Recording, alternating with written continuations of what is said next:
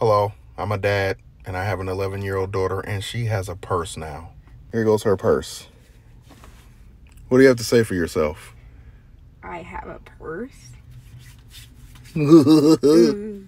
So she has the mask in her purse just in case we go somewhere that requires a mask. Most places out here don't.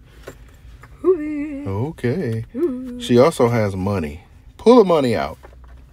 Look at this. Look at this money. Give it here. This is mine now. This is No, totally mine. mine. No, it's It's totally my money That's now.